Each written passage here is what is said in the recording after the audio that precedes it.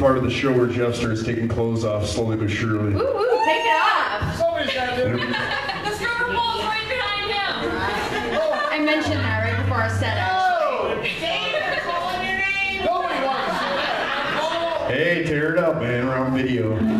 Or something.